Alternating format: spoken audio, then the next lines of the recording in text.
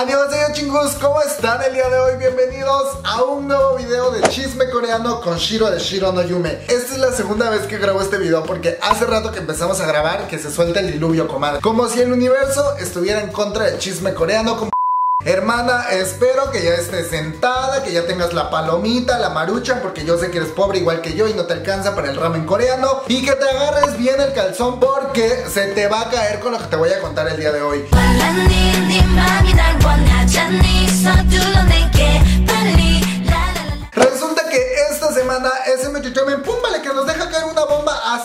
Decidió este 7 de agosto darnos, pero un bombazo en la cola, porque nos dio a conocer más detalles de lo que va a ser su próximo proyecto. Recordarán que hace un par de videos atrás les hablé acerca de que nuestras comadres de SM están preparando un nuevo grupo masculino conformado por otros integrantes de otros grupos que ya tiene la agencia. La Lison Men, nuestra comadre Lison Men, muy viva, muy empoderada ella, muy dueña del mundo y de la música de Corea, asistió el día 7 de agosto a un evento que realizaron en Estados Unidos, los de Capitol Records, que es el sello discográfico más grande y uno de los más importantes y legendarios dentro de la música de Estados Unidos. En este evento, donde SM Chichemen fue uno de los invitados más importantes de la noche, la Listen Men, quien hace mucho tiempo atrás no salía a dar un comunicado desde que anunció el proyecto de NCT, apareció en público. Y qué mejor que para anunciar el nuevo proyecto que trae bajo la manga Chichemen. Y parece ser que es un proyecto muy prometedor porque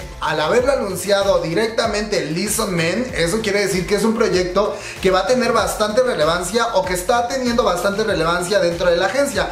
Y no es para menos porque están juntando a sus figuras más importantes y más poderosos. Listen Men, que es el fundador de SM apareció toda empoderada, diva, potra, muy segura de ella misma y dijo, a ver, comadres del mundo, les traigo la sorpresa del año, el grupo de K-pop que va a cambiar la historia. Pero lo que dijo Listen Men fue que este nuevo grupo que se va a llamar Super M va a debutar durante el mes de octubre en Estados Unidos. O sea que desde aquí ya estamos viendo hacia dónde va este proyecto. Que este proyecto viene dirigido hacia nosotras, hacia las fans extranjeras porque ya se dieron cuenta que las chingonas aquí somos las del extranjero. Aquí las chingonas empoderadas del K-pop somos las fans internacionales. Ya les dimos la vuelta a las coreanas, somos más chingonas nosotras y que van a estar promocionando principalmente en Estados Unidos. Nada tontas nuestras hermanas de SM Entertainment, porque como ya vieron que les están comiendo el mandado a otras empresas, pues ahora sí ya decidieron ponerse las pilas.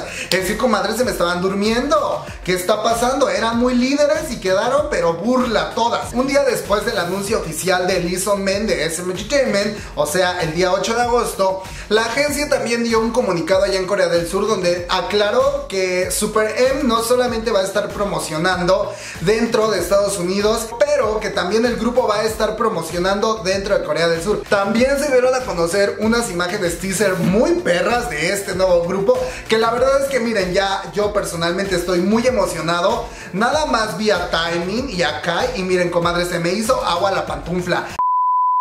Por otro lado, Son Jong-ki vuelve a ser tendencia en Corea del Sur, esta vez porque diversos medios de comunicación anunciaron que pues el actor no le está yendo nada bien con sus finanzas, al parecer varias marcas de las cuales él era la imagen oficial como que están diciendo, uy comadre, ya no nos caes tan bien, fíjate que el tema de tu divorcio como que no fue bien tomado por la dirección y te vamos a cancelar tu contrato. Y es que comadres, yo les dije, el karma es bien perro y el karma se te regresa al triple, al cuádruple y si te portaste muy culera, pues se te, te desbarata la vida. ¿Se acuerdan que hace unos videos atrás les estuve diciendo que el público coreano estaba de que atacando horriblemente a Son Hye Kyo y de que la tachaba de que era lo peor? Luego de un par de semanas de descanso de este tema que creímos que ya no lo íbamos a volver a tocar, que creímos que ya había concluido, pues no.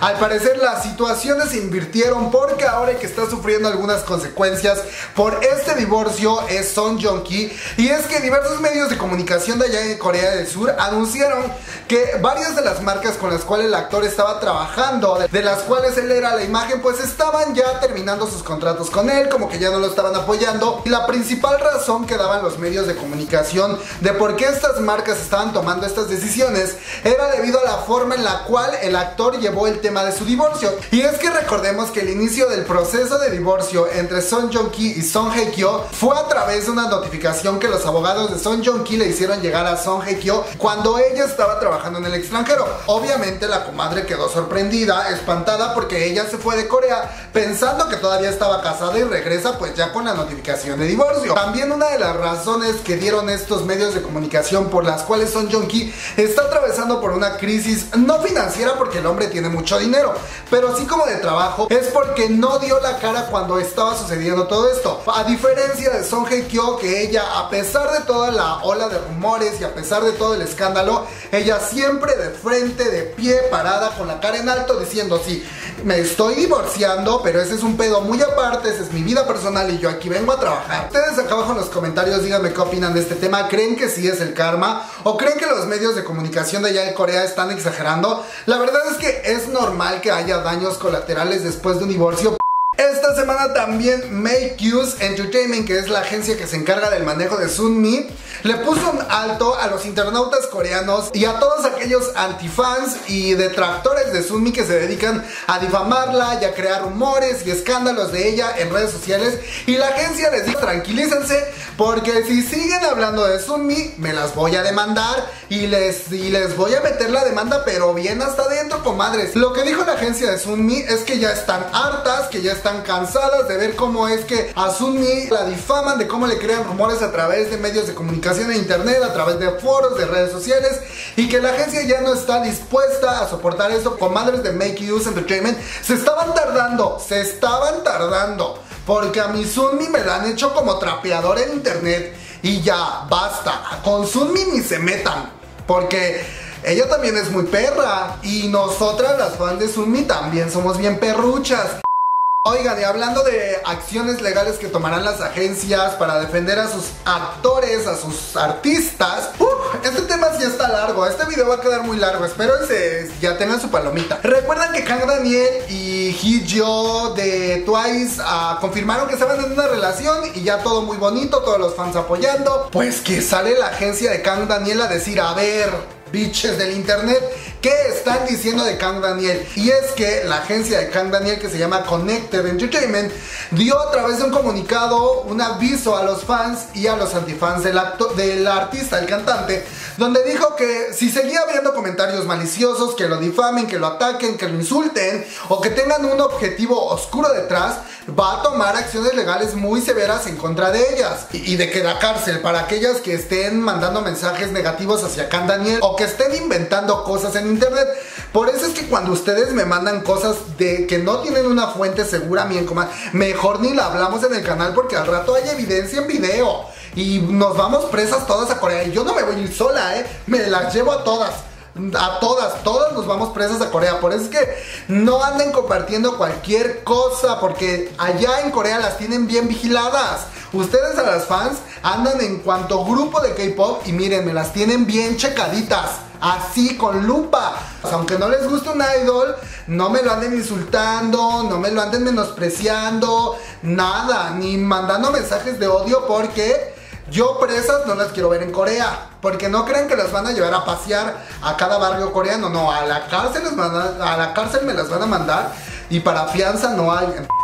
Eso es lo que dijo la agencia de Kang Daniel, que va a estar tomando acciones legales en contra de todas aquellas personas e internautas que eh, manden mensajes de odio, mensajes maliciosos y rumores a Kang Daniel. Todo esto viene a raíz de el anuncio que se hizo a través de Dispatch que estaban saliendo, luego la confirmación y aquí es donde les digo que se pone turbia la cosa, porque muchos fans estaban confundidos si este comunicado que dio la agencia era debido a la confirmación de su relación. Pensaron que este comunicado era como para retractarse después de haber confirmado la relación. No, comadres, nada que ver. Esto es un anuncio, este es un aviso para todas las personas, para todos los antifans de Can Daniel para que no anden mandando mensajes de odio. Por otro lado también, después de todo este pedo, después de confirmarse que Kang Daniel sí está saliendo con una de las chicas de Twice, muchos internautas coreanos se dieron cuenta que en el reporte que hizo Dispatch había fechas diferentes a la fecha en la que se estaba publicando el reportaje. Según lo que dijo Dispatch en un medio de comunicación allá en Corea,